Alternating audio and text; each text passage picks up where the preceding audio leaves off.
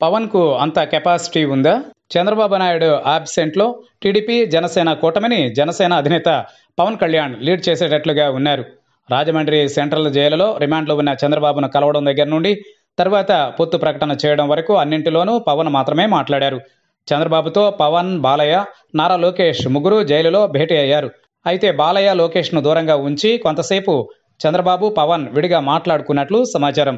ఆ సమయంలోనే రెండు పార్టీల పొత్తు విషయం ఫైనల్ అయినట్లు తెలుస్తోంది. పొత్తు విషయం మీడియాతో పవన్ ప్రకటించేంత వరకు మిగిలిన ఇద్దరికీ తెలియకపోవచ్చనే ప్రచారం పెరిగిపోతోంది. పొత్తుపై పవన్ ప్రకటన చేయగానే బాలయ్య చప్పట్లతో స్వాగతించిన లోకేష్ మాత్రం షాక్ కొట్టినట్లయ్యారట. మీడియాతో పొత్తు గురించి మాట్లాడిన తరువాత మిగిలిన ఇద్దరిలో ఎవరూ నోరిప్పలేదు. ప్రెస్ మీట్ అయిపోగానే పవన్తో పాటు బాలయ్య లోకేష్ వెళ్ళిపోయారు.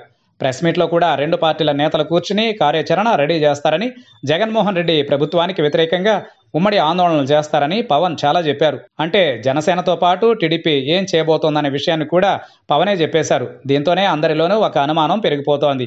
అదేంటంటే జైలులో భేటీ అయినప్పుడు రెండు పార్టీల ఉమ్మడి కార్యాచరణను పవనే లీడ్ చేస్తారని బాలయ్య లోకేష్కు చంద్రబాబు చెప్పారా అని.